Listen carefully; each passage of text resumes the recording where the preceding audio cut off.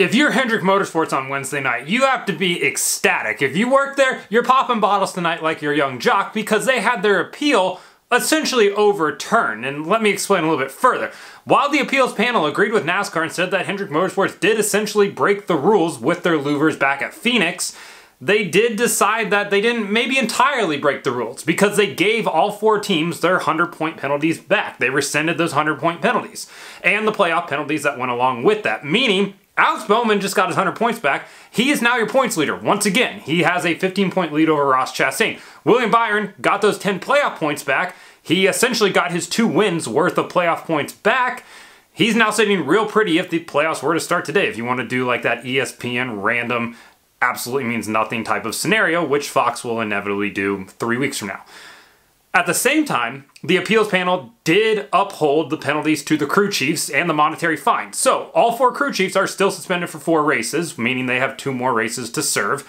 And all four teams and crew chiefs still have that $100,000 fine, which is fine because Rick Hendrick has money like that. NASCAR obviously was not very happy with the decision by the appeals panel, which is randomly selected. They said that the only reason they hand out heavy points penalties is to deter teams from doing things like this. And while that makes sense, of course the executioner is always going to be upset when things don't go in their favor.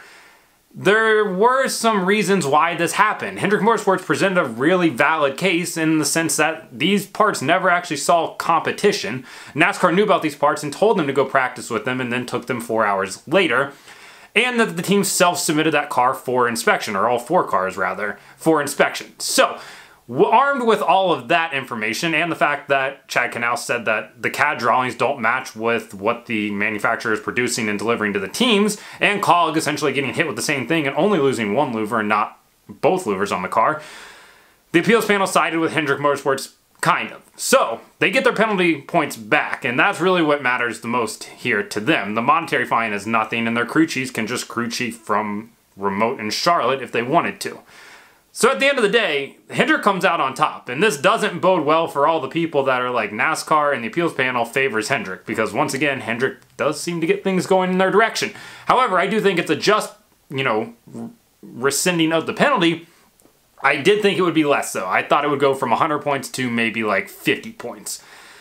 Either way, though, this does change the playoff picture now going forward, and it's weird that the appeals panel does have this sort of trend now of overturning penalties issued by NASCAR. Before, you would never appeal a penalty because you just knew it would never get overturned. And now the appeals board is just overturning penalties like they're Oprah, and you can basically present whatever you want. Kaulig goes in front of the board next week for their louver violation, and by all accounts, they should get overturned. Granted, it's going to be another random selection of panel members, so it could go a completely different way. Denny Hamlin also goes in front of the board next week as well to get his penalty for what he said on his podcast, Actions Detrimental, rescinded as well. And I think he has a valid case, and I think Kaulig has a valid case. On the other side of things, we got a new penalty on Wednesday afternoon. Daniel Suarez has been fined $50,000 for the contact that he made on pit road post race at COTA with Alex Bowman and to a lesser extent Ross Chastain.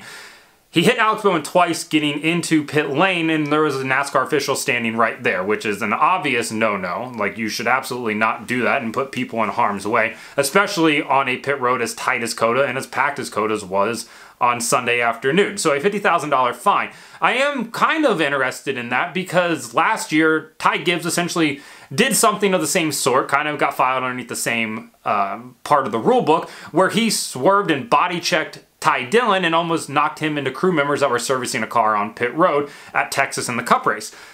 He got a 25 point fine and a $75,000 penalty. The fact that Daniel was not given a points fine and a lesser monetary fine is a little bit interesting because it doesn't really seem to jive with the whole consistency thing that, you know, fans have constantly begged for from NASCAR.